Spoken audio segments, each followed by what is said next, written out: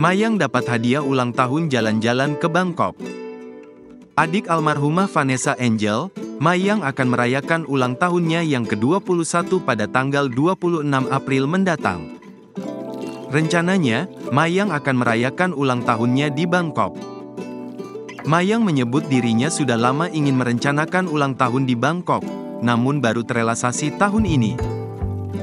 Plan tahun lalu sebenarnya, tapi baru kesampaian sekarang, ucap Mayang saat ditemui di kawasan Pesanggerahan, Jakarta Barat, Minggu, tanggal 14 April tahun 2024. Baru rembukan setelah lebaran, terus kata Tante Indah Bangkok aja, tuturnya. Dodi mengatakan bahwa ke Bangkok merupakan hadiah dari Indah Sari. Ini semua dipersembahkan spesial untuk Mayang.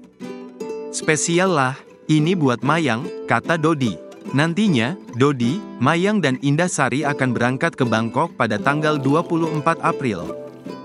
Kita berangkat TGL tanggal 24 April, pungkasnya.